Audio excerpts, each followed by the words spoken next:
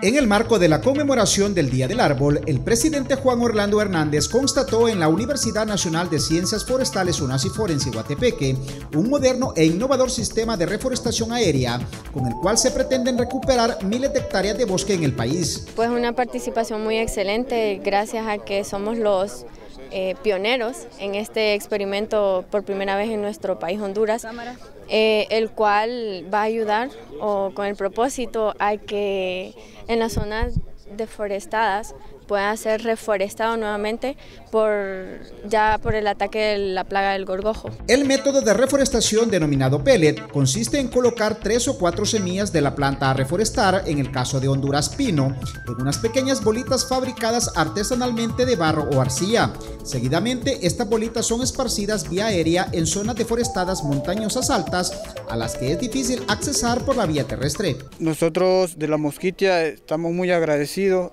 y ser partícipe de este, de este proyecto, así llevar como una copia e implementar ese tipo de proyectos ahí en La Mosquita. Con este proyecto se logrará bajar el costo económico de reforestación por cada planta sembrada, así como el tiempo de la misma, puesto que con el método tradicional de sembrar en vivero, la planta tarda unos cuatro meses para estar lista. No obstante, con este método se pueden reforestar al menos 10 hectáreas en el término de una hora. El golpe que hemos recibido con este problema de la plaga del gorgojo estos años atrás ha sido muy fuerte volver a poblar eso no solamente se lo podemos dejar a la, regeneración natural, tenemos que ser proactivos.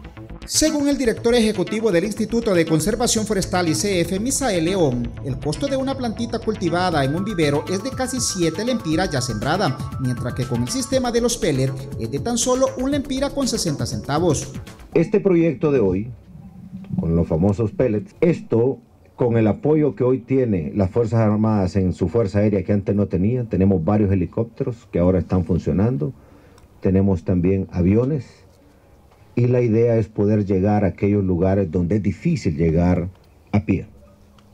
Obviamente que como es un proceso experimental, requiere un monitoreo que nos permite ir aprendiendo de cómo ir mejorando este proceso. El método pellet se ha utilizado con éxito en otros países y se busca implementar en Honduras como parte de las estrategias del Plan Maestro de Agua, Bosque y Suelo impulsado por el mandatario hondureño, en un afán de recuperar en el menor tiempo posible las más de 500 mil hectáreas destruidas en el territorio nacional a consecuencia del cambio climático.